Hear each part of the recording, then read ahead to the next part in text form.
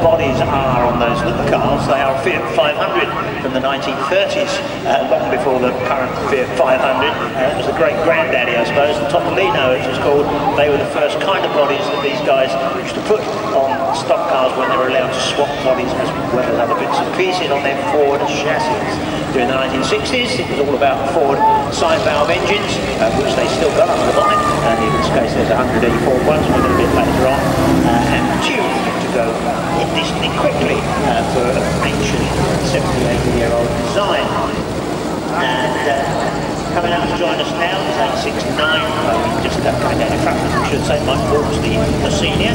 His son's a two-litre hot racer, and uh, they win the other day uh, young one. But uh, Mike lives right next door to Oxford Stadium, James Pratt.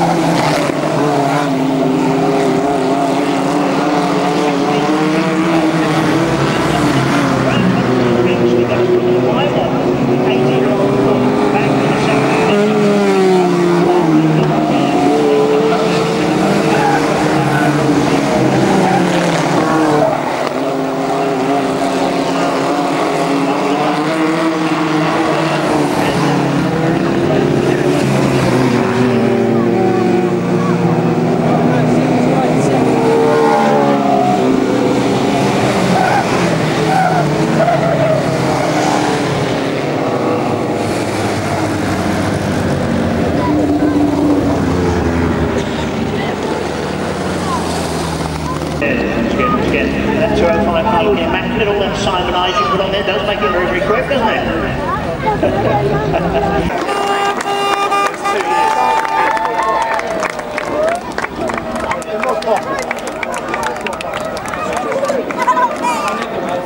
Oh!